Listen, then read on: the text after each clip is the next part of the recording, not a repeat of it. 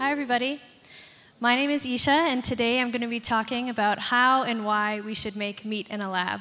But before we get into that, I thought it'd be really important to tell you who I am and where I came from, because usually when I tell people that my life's work is about making meat in a lab, they're like, Who are you and where did you come from? So I'm going to start with where I'm from. I'm from Edmonton, Alberta, Canada, and I thought nothing could summarize this place better than this bumper sticker. So Alberta is the biggest industry there is the oil and gas industry, and another secondary very huge industry there is livestock production. And so when I grew up in this place, which was very much about trucks and beef, um, this is kind of what life looked like in Edmonton. So you spend all your life essentially on the road, going from place to place, dependent on your car, and I grew up completely hating car culture. But it's kind of weird because, on the other hand, I grew up completely loving eating meat and consuming beef in particular. So much that me and my friends would eat steak tartare every Tuesday for half price at this restaurant called Accent.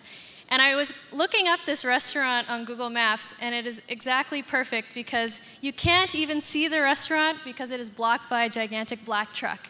So, this is essentially a summary of my experience growing up in Edmonton. Um, let's flash forward a couple years, and I'm here at the University of Alberta. The screen is so big that you can actually see this yellow building, which is called the Butter Dome, which is something I like to share. Um, but at this university, I was doing a degree in cell and molecular biology when, in my fourth year, I decided almost at random to take a course focused on meat science. And the reason why I wanted to do that is obvious because I absolutely loved meat, but also because everybody cares about meat. It's really hard to talk about signaling pathways or protein structures to people, um, but you can absolutely talk about food to absolutely anybody.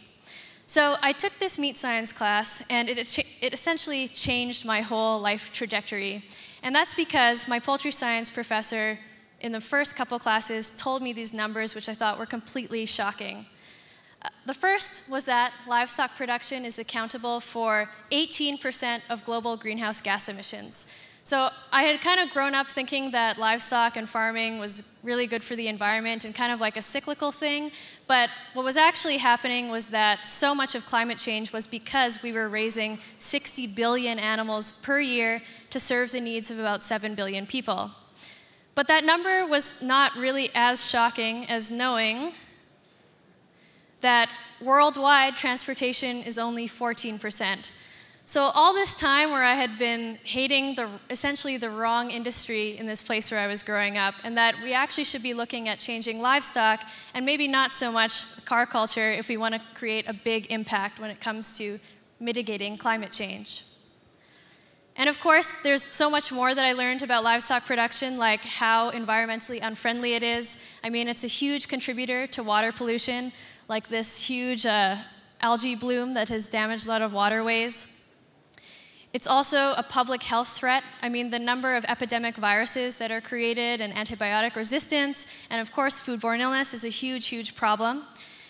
And then there's the most obvious kind of ethical conundrums that come with eating so many animals. I mean, we've become extremely efficient at producing a lot of animals to feed a lot of people, but as we become more efficient, what happens is there's usually some kind of compromise when it comes to animal welfare. So I was wondering what we were supposed to do about this, and of course, my professor presented me with the solution just a few classes later, where he put this slide on the board, and it completely blew my mind. The idea that instead of raising a whole chicken and cutting off its beak and pulling out its feathers and taking off its legs and whatever, just for a boneless, skinless chicken breast, which is usually what people are eating in North America, we could actually start just with a chicken cell, multiply that chicken cell out into a muscle tissue, and then consume that tissue. And when I was presented with this idea, I mean, this is basically the summary of all the amount of research that had gone into it. It was a completely, completely brand new idea. But I decided that I was going to completely focus my efforts into making this thing a reality because I thought it was so promising and so neglected. So let's fast forward another few more years after a master's and working in pharma and a couple other things. And this is my house in Toronto, where I decided on January 14th, 2013, that I was going to be completely full time dedicated to making cultured meat a thing.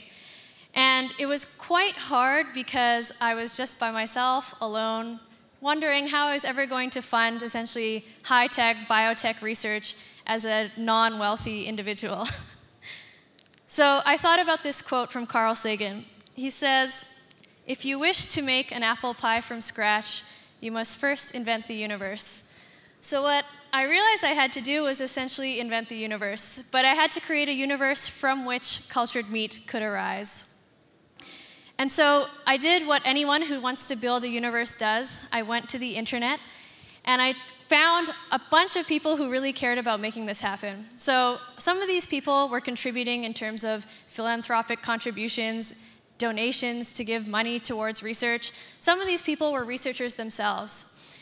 And for about a year, I spent my time building this community. And then by the second year, I, I thought, okay, it's time to actually do some real science. And that's where I brought together these two guys, Ryan and Perumal. They were from the New Harvest Universe. And we decided that we were going to make milk using a yeast culture. So we were going to take the genes for milk proteins, put them into yeast, and then use industrial fermentation in order to produce milk without cows. And Muufri ended up being very successful. Uh, they actually exist today, and now they're called Perfect Day. Uh, I encourage you to check out their website. They're going to have a product in the market next year. And what was cool is we were able to create this project almost out of nothing, and also kind of because synthetic biology was a hot thing and we were doing what all the cool kids were doing and starting companies. But we also decided to do the same thing not too much later after, where we decided to create another company called Clara Foods that was also going to be making proteins using industrial fermentation, but this time egg proteins. Now, this was the point where the universe had to expand a little bit because I realized that it wasn't so much about just creating meat in a lab, it was actually about creating any animal product in a lab. So there's kind of two categories of animal products. There's your milk and your eggs, which are not cells, they're not living, they're just a combination of proteins and fats, really. And because they're just a combination of proteins and fats, we can use existing technologies to create them at scale. So there's kind of already a universe in which milk and eggs can be made because we already make so many other food ingredients and so many other pharmaceutical products that way. But there's this other category of food products which are tissues. That's like this ham and this salmon and this shrimp, where it's actually made of cells that have grown out into tissues. And unfortunately, there isn't quite a universe for that yet. There isn't a body of expertise that we can build from. There isn't a huge amount of research that we can build off of. So, what we had to do was kind of create a community in which that would be built. So, I went back to the quote and thought, okay, what do we need to do now for cultured meat? And I realized that the very first thing that we had to do was build a field of research. And I, I ascribed that quote to me, but it actually wasn't the quote. I mean, it wasn't me that came up with this idea. It was actually the whole community of people that we'd been building over the past couple years. So I went to our Facebook group and said, what are we going to call this field of research where we can make any kind of agricultural product from a cell culture instead of from a plant or animal? And that's where we came up with the idea of cellular agriculture, which is pretty self explanatory by this point. So, for cultured meat, how on earth are we going to get this started? So we have the people in the universe and we have a little bit of funding, but what's missing? So I thought I'd walk through this slide that goes through kind of the four main elements of producing cultured meat. The first thing you need to start with is your cells. So when you're producing something like chicken, beef, pork, you need to have chicken, beef, and pork cells. And those are probably going to be muscle cells, but they could also be fat cells. They could also be other cells like fibroblasts that might contribute to texture or things like that. And the challenge with these kind of cells is that they don't exist yet. So if you're a tissue engineer, you've probably worked with mouse cells, you've probably worked with human cells, but it's very, very unlikely that you've ever worked with the cells from an agricultural animal, just because we've never had the demand for producing food-oriented cells. So that represents like a huge black hole when it comes to making cellular agriculture a real thing. The second thing that you need is a scaffold. So muscle cells are particular in that they need to attach onto a surface in order to grow and mature into fibers like the meat that we're very familiar with.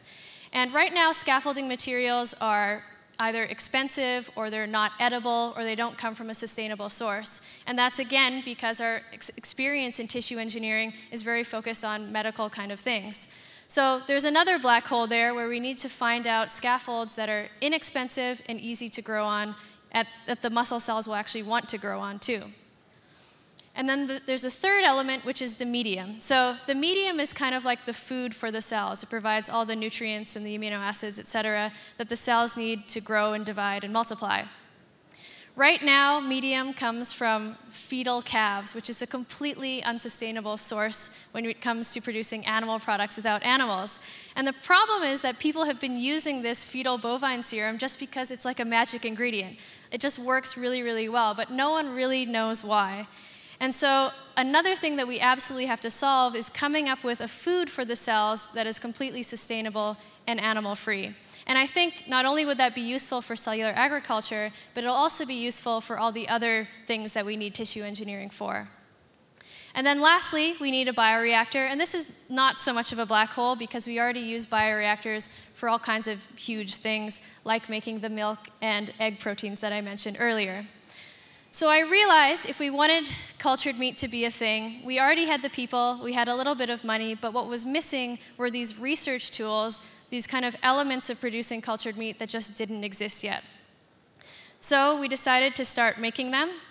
Uh, right here is Dr. Paul Mozdziak. He's a researcher from North Carolina. And when he first entered the New Harvest universe, I found out some interesting things about him.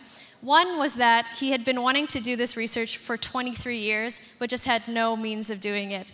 He had been actually keeping a culture of turkey cells since 1993 because he was so desperately wanting to make cultured meat. The problem was that he wasn't getting funding from any of his existing funders, and he couldn't find a lot of people who were excited to collaborate with him. The good thing was we had all those things, and so we came to Dr. Paul and decided together that the most useful catalytic project he could do was to create the very first turkey cell line, which we could then disseminate to researchers all over the world so we could begin kind of creating a culture of people working on creating cultured meat. So this is Marie Gibbons. She's a New Harvest Research Fellow and Dr. Paul's graduate student, and she's creating these turkey cells. We just got this photo a little while ago. Um, and she's creating them in culture so that we can send them to people all over the place. So that's a picture of her with a huge number of cryotubes of turkey cells that we're sending to whoever wants them. And the cool thing is, after Marie isolates these cells and starts shipping them out, she's going to actually start working towards making those cells even better for making cultured meat so that they can be used in this bioreactor. So she's going to try and design the cells so they can be grown in suspension so we can grow a lot of cells very quickly. We also have some researchers who are developing the scaffolding materials that I mentioned earlier and trying new different materials that cells can attach onto and grow into. And I, I was so, okay, the thing that I love about being able to start from scratch and the ability to create a new universe is that you can actually design the universe that you want. And I went back and thought about how food technology has changed people and food over the years and was wondering how we should model cellular agriculture in particular. And so I thought I'd walk through kind of these two big changes when it came to food technology. The first one, food tech version 1.0, is fermentation. And fermentation absolutely expanded our world of what foods could be. I mean, just looking at the example of milk, before fermentation, we just had milk. After fermentation, we had how many hundreds of cheeses and yogurts and kefirs and delicious types of foods that were created independently in different countries all over the place. And how many people use fermentation as like a sharing thing. Like you can share your sourdough culture with anybody, you can share your kombucha mother, you can buy one off Craigslist. Actually, you don't even have to buy one, you can just exchange them on Craigslist. So fermentation was something that kind of opened up this whole realm of new foods, and I think that's largely because it was so openly accessible to anybody. And that's also because it's very easy to share cultures between people to try new things. But then compare that to kind of food tech version 2.0, which are GMOs. Now, GMOs are kind of really, really hard to share, and that's kind of because the science is so complicated. So think about golden rice, for example, which is a GMO rice that is vitamin A enriched. The reason why that's having a hard time getting to people is because it's held up in 70 patents held by 32 different companies. And that's because it's just really hard to do complicated science like that and make it freely available to everybody because so many different people have to agree to make it open. So how are we going to do this with cellular agriculture? Because cellular agriculture is kind of like GMOs in that there are so many moving bits and pieces and so many opportunities to create IP. But if we want to, in fact, open this world to more innovation, more iterations of what meat can be, we have to probably try to go as open as possible. So that's when I decided that New Harvest probably wasn't going to go to the direction of creating companies like uh, Muufri and Clara Foods anymore, but instead focus on completely uh, open, publicly accessible knowledge. And the way that we're going to do that, in addition to the grants that we've given to people like Dr. Paul and Marie, are to build our own lab where everything created in the lab is going to be open source. It's probably going to be really hard to keep everything in cellular agriculture open, but we're going to try our best to make sure that everything we create is going to be open. So this lab is at here in Paris at La Paillasse, which probably lots of you know about already. And that's Dan, who's sitting right there, who's going to be our first researcher that is working there. So I know I didn't get to go into the technical details too much about how cultured meat is made, and that's largely because they don't exist yet. But I did want to share with you how we are able to create a universe and how when you bring together a whole bunch of people who want to contribute something, whether that be their philanthropic dollars to support researchers or people's own expertise and own passions, you are able to, in fact, create an apple pie. And these are the apple pies that we've been creating so far uh, a little tiny turkey nugget, some egg proteins, and milk in cell cultures. Thank you.